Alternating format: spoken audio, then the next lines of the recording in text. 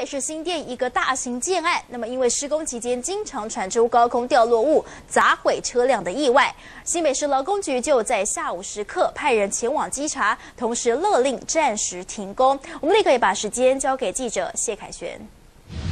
各位观众，什么叫从天而降？恐怕是住在这个新店这个巷子里的居民感受最深刻，因为他的爱车呢，已经好几次都被这个从天而降的钢筋铁条啊，或者是一些这个铁质的建筑物的工具呢，全部都被砸烂了。我们可以看到挡风玻璃呢，也都被砸碎了，而上头呢，还布满了相当多的这个树枝。而这个砸车的元凶呢，就是隔壁工地的这个从高楼层掉下来的钢筋铁条，而这个高楼层掉下来，重力加速度呢，让他的爱车呢遭殃了，而这个甚至呢，这已经不是第一次了。这一排的居民呢，车子全部都被砸过，而元凶呢，居然就是这个工地的铁条。看到车主脸都绿了，而他们已经表示呢，这个已经发生过好几次了。我们来听听稍早居民访问。那那那边那边已经都五六次了，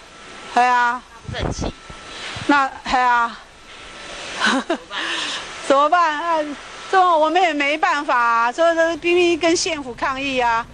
停工啊，停工他还是照做啊。而看到爱车的惨状呢，车主呢真的是相当的心疼哦，甚至呢还曾经有掉下来大型的这个石块、水泥块过，让他们呢是相当的害怕。因为呢这些钢筋铁条今天砸的是车，要是哪一天砸到了是人，出了人命、出了意外，那又该怎么办呢？虽然现在呢这个包商呢是已经在这个他他们施工的这个侧边呢已经装了所谓的安全的护栏哦，来防止一些钢筋铁条掉下来，但是呢这个居民表示还是难保哪一天不会出事情。那到时候谁又要来负责？以上是现场为您掌握到的情形，镜头交还棚内。